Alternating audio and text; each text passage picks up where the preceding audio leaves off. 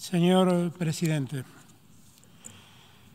muchas veces en la historia los magnicidios han sido prólogos de grandes tragedias, fundados en el rechazo o el odio hacia las víctimas, quienes perpetraron semejantes acciones quebrantaron la paz pública y abrieron las puertas a enormes disputas sociales. Pueblos enteros sucumbieron detrás de estos profetas del odio. Por eso mismo, poniendo en valor la racionalidad propia de la convivencia democrática, quiero comenzar estas palabras agradeciendo la solidaridad que la Argentina ha recibido del mundo entero por el intento de magnicidio perpetrado contra nuestra vicepresidenta Cristina Fernández de Kirchner. En la Argentina, el intento de asesinar a la vicepresidenta no solo afectó la tranquilidad pública, también buscó alterar una virtuosa construcción colectiva que el año entrante cumplirá cuatro décadas de vida. En 1983 recuperamos la democracia e iniciamos un largo ciclo histórico en el cual alternaron en el gobierno distintas fuerzas políticas. Los argentinos construimos el acuerdo del nunca más al terrorismo de Estado y a la violencia política.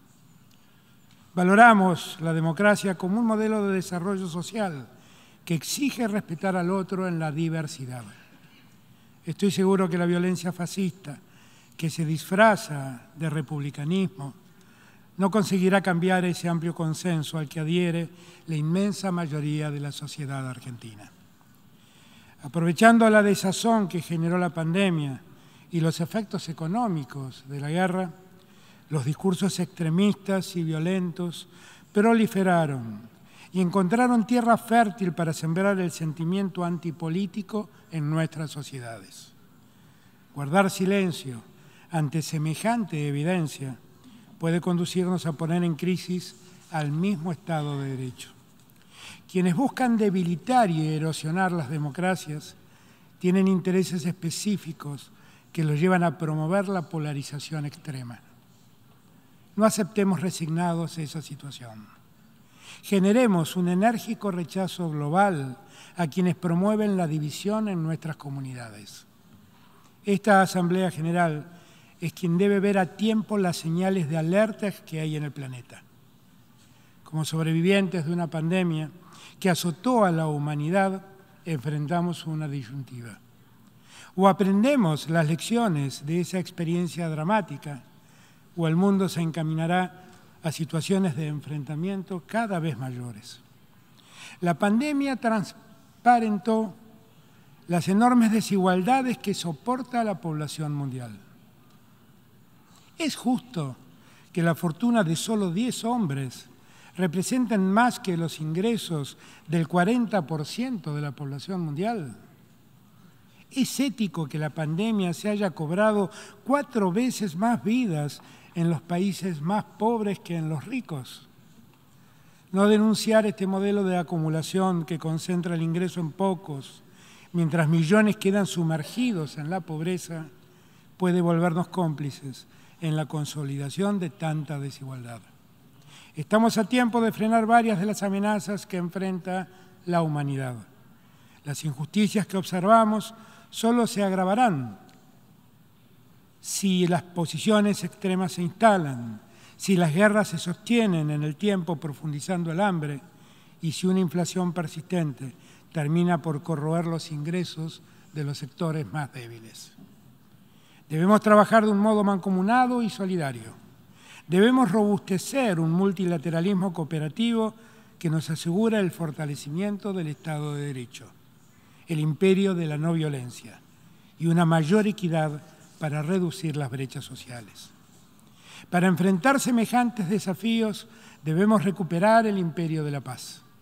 Siempre hemos pregonado la solución pacífica de cualquier controversia.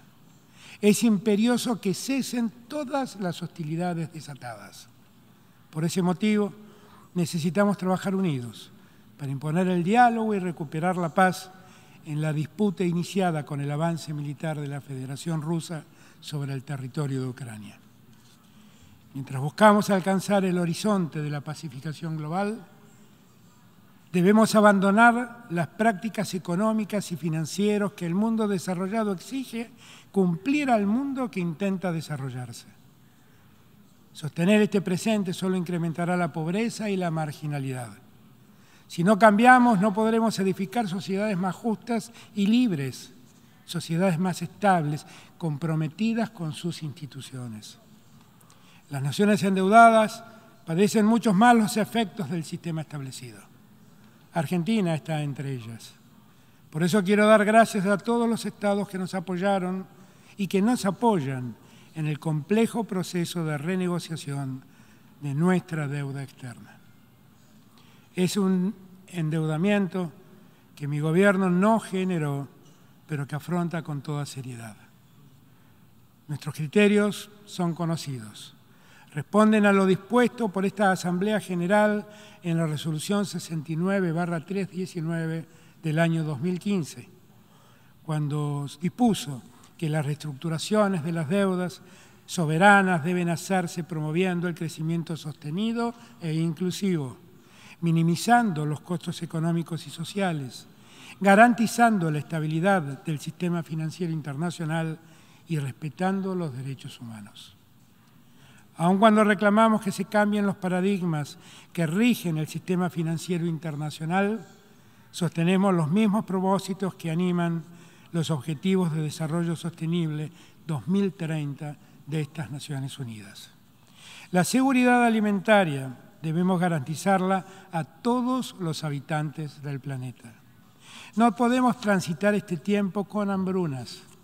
Los recientes informes de la FAO alertan sobre el impacto de la excesiva volatilidad de los precios de algunos alimentos y sobre la alteración de los mercados de insumo que influyen en la producción de los mismos. Todo esto tuvo y tiene un efecto importante en el aumento de la inflación mundial. Todo va en detrimento de los más postergados. La Argentina cumplirá su rol como productor y exportador confiable de alimentos nutritivos y de calidad. También como proveedor de tecnologías aplicadas a la producción de alimentos para mejorar su rendimiento. Debemos garantizar un sistema de comercio internacional de productos agrícolas más justo, más transparente, equitativo y previsible. Si consolidamos ese sistema, los países productores de alimentos podremos hacer las inversiones necesarias para aumentar la producción y contribuir a paliar el hambre del mundo. Así como debemos garantizar la seguridad alimentaria, debemos acceder en condiciones de seguridad y previsibilidad a la energía. Argentina seguirá estando presente para contribuir a enfrentar ese gran desafío. Estamos incrementando la producción para proveer al mundo de energías limpias y de aquellas que, como el gas natural, permiten reducir las emisiones de carbono durante la transición. Contamos con la segunda reserva mundial de gas no convencional y la cuarta de petróleo no convencional. Contamos con una gran reserva de litio y con el potencial para desarrollar la energía solar y eólica, así como el hidrógeno de bajas y nulas emisiones. Trabajamos para garantizar que este camino de sostenibilidad ambiental y seguridad alimentaria y energética sea posible pero todo esfuerzo será vano si no transitamos ese camino en un marco de desarrollo económico y social más equitativo. Con esa convicción desplegamos nuestras capacidades industriales y generamos valor agregado a lo largo de toda la cadena de producción. Debemos insertar en cada una de ellas a nuestros proveedores industriales, científicos y tecnológicos, la producción que convoca al trabajo digno es el camino que elegimos para desarrollarnos.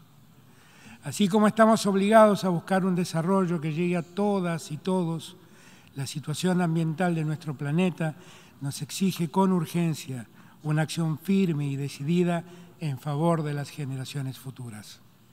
Los problemas ecológicos necesitan del involucramiento de todos precisan una relación constructiva entre estados y sociedades, una asociación vital sin la cual el desarrollo sostenible se vuelve ilusorio. Cuestiones impostergables como el cambio climático, la biodiversidad y la contaminación por plásticos, convocarán nuestros esfuerzos con la esperanza de poder construir consensos amplios para asegurar la preservación del planeta y de la humanidad. No todos somos igualmente responsables de la crisis climática. Ni América Latina y el Caribe, ni África revistan en la primera línea de emisión de carbono.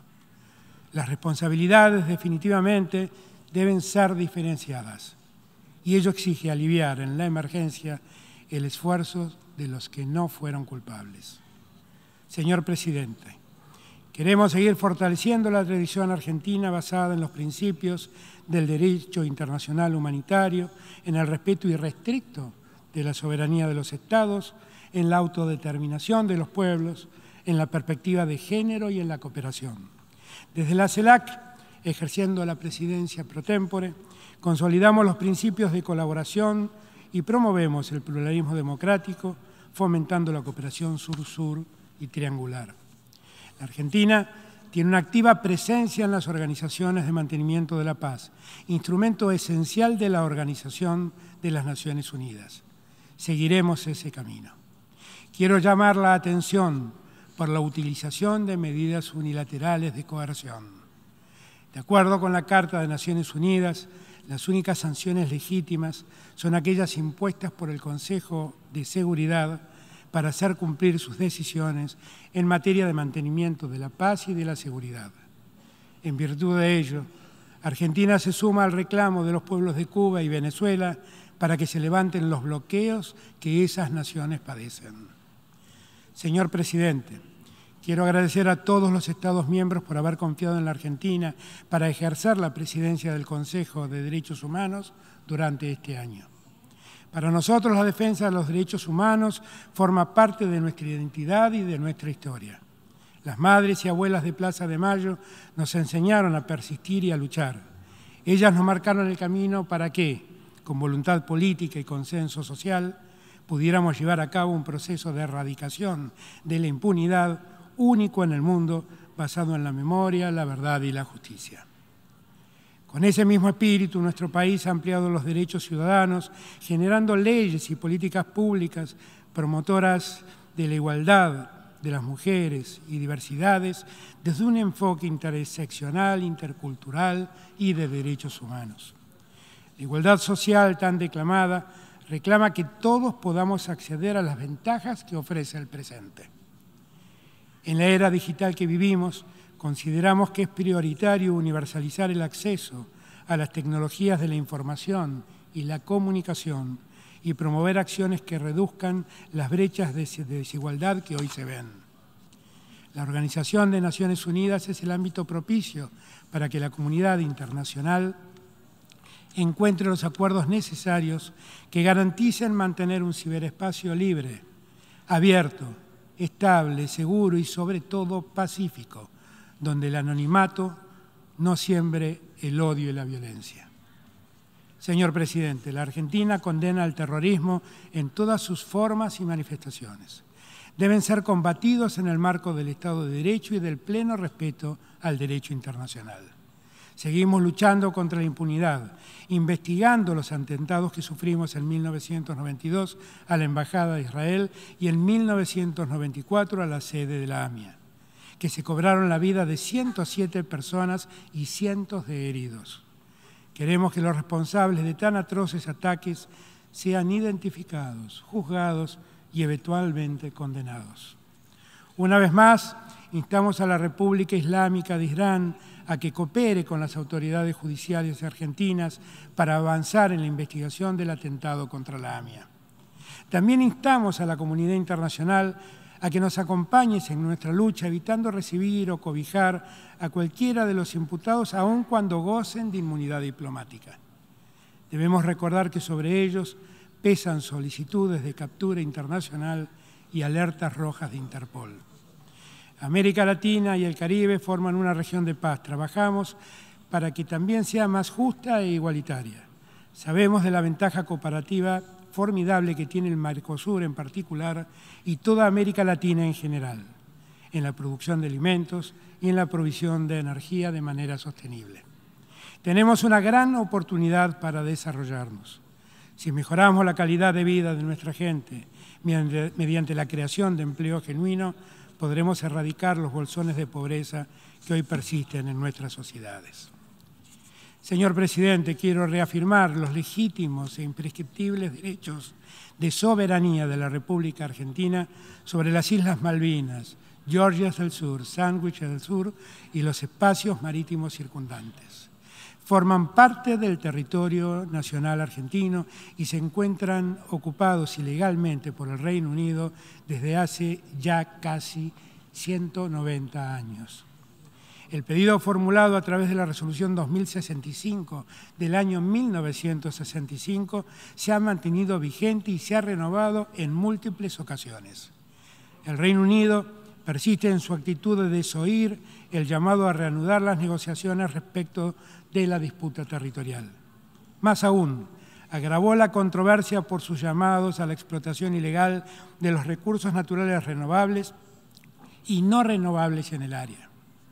También insiste con la injustificada y desmedida presencia militar en las islas, que no hace más que traer tensión a una región caracterizada por ser una zona de paz y cooperación internacional. Solicitamos al secretario general que renueve sus esfuerzos en el cumplimiento de ese mandato y que el Reino Unido se avenga a acatar el llamado de la comunidad internacional y ponga fin a esta anacrónica situación colonial.